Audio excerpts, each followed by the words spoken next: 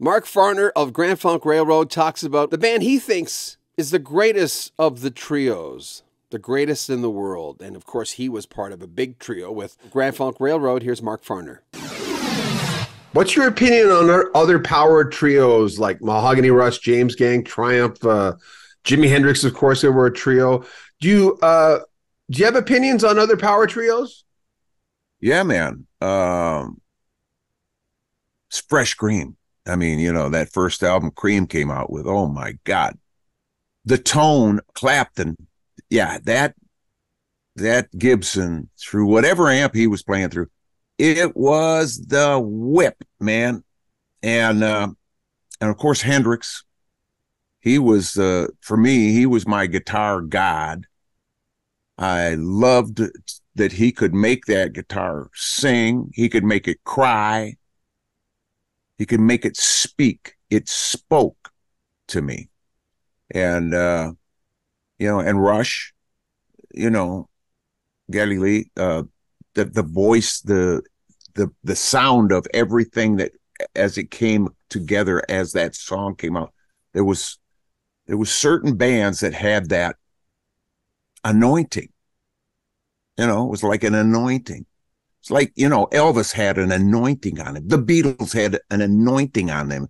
And we we have, you know, because it, it captures uh, spiritually, it captures a part of us that that brings to our focal point something we didn't even realize was within us. But the music helps bring it out. You know, and, Bill Szymczyk, I just, you know, of the Eagles fame and James Gang and all that stuff. I just interviewed him and uh, I, just before we left, oh, said, oh, oh, wait, wait, wait, Billy says, okay, what? I says, who did you want to produce and never produce? And you know what he said? Big country of all things from England. And then he said, but mostly Rush. I said, what? Bill Szymczyk producing? I was just floored, Mark. I said, what? He says, because I wanted to work with the best musicians in the world. Yeah. Yeah. Well, speaking of that, I'm kind of curious. When you were growing up, were your parents plugged into what was going on? My dad, World War II veteran, tank driver in the 7th Armor Division, returned home with four bronze medals. He was in four major battles and he lived to, to come home and work as a fireman in the city of Flint, Michigan. And I remember walking behind him, brother, him and my uncle Woody were out bird hunting, ringneck pheasant, and I'm back behind them because I I would just tag along, you know, because I love to be with them. And I heard my dad say to Uncle Woody, Woody, because they're talking p- politics and whatever, and uh, what was in the Flint Journal, and and my dad looks at Woody. he says, "You believe that shit?" He says, I'm going to tell you something. If you really want to know where the trouble starts, trace that money trail to the top. That, my friend, that stuck with me.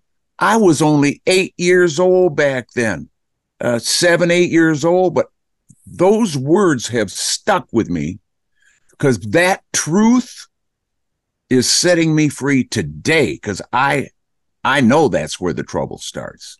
Those people have an agenda. By the way, did your parents? How did they react to uh, what was going on? I mean, you guys were the biggest band in the uh, that era, the, that span of years. I mean, no one's touching you guys. So, how did your parents? I mean, they knew you were. They obviously knew you could sing and you could play guitar, but but when and I mean, I, I read the, the quote where you guys were were you know using snow to shave and to drink and uh, just before it, it broke out. But after that, we'll get to that in a second, but after that, when things you couldn't turn a corner without hearing about you guys, how did how did they react? Well, my dad died when I was nine years old. My father. Oh, sorry. Yeah. Frederick Farner. And my mom remarried about two years after that to Reginald Russell Fortune, a great guy from Flint, Michigan. And uh, I brought my mom and Pedge, which was his nickname because his brother couldn't say Reginald. He called him Pedge.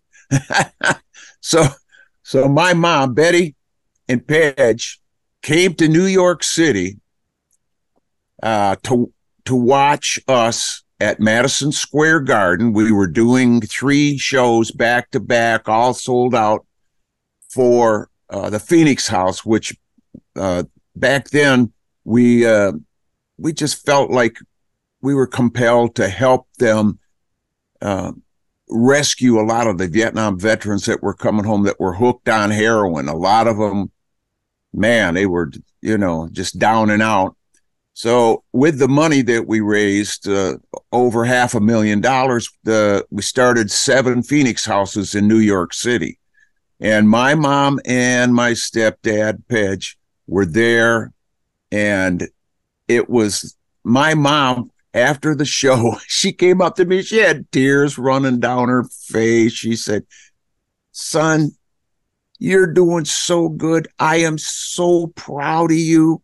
and what you guys are doing for the veterans. Oh my God, your dad would just go through the roof with joy. And that made me cry, buddy. And it's almost got me right now. yeah. Well, considering where your dad came from, I mean, he was obviously a great man, you know, that, that, uh, and there you are, you know, repaying the service, you know? Yeah, man. That's, that's the way it's done. Remember, make sure you subscribe to our channel, join our Patreon, get early access to our videos. You can make a donation to the channel. There's a link in the very top of the description. Buy a t shirt, spread the word. I'm John Beaudin from Rocky History Music.